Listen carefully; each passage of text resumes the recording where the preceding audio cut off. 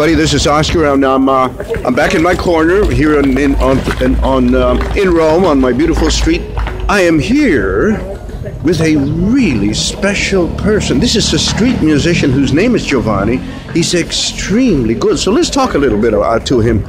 Uh, Giovanni, parlaci un po', dimmi, e da, quanto, quanto, da dove sei prima di tutto? Allora io sono na- nativo di Roma, sono nato a Roma, al- in via dei Leutari, Yeah. dietro Piazza Navona, Piazza Pasquini. Ah, Piazza Navona. He says he was born here in, uh, in Rome at the historic, near the historic Piazza Navona, which is a magnificent place.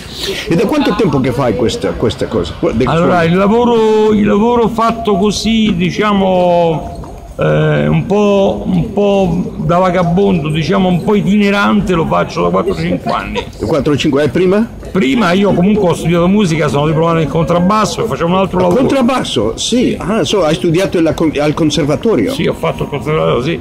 Poi, no- poi avevo, un, avevo un altro lavoro e, ho- e facevo il musicista solo di, diciamo, di, a livello dilettantistico, diciamo, per hobby. Ah, Poi la vita ha fatto sì che ho perso l'altro lavoro e sei adesso ri- ripes- mi sono reinventato per la terza volta una situazione che possa con un minimo di dignità farmi vivere.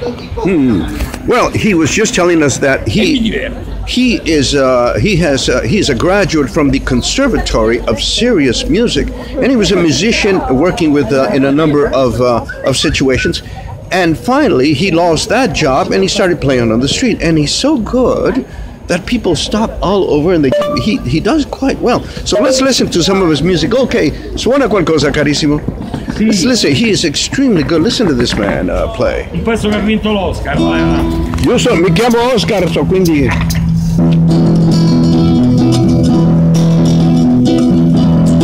Oggi la giornata della felicità.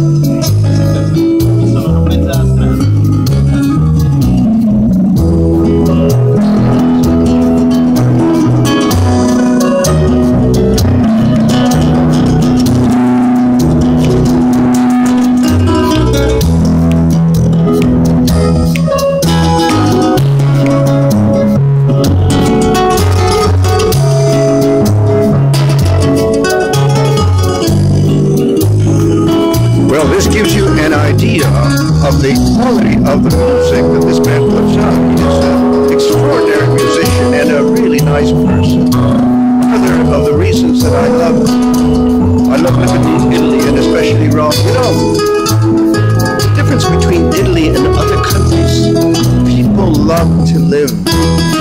They love to communicate, and living is the priority here. It's not like America or England where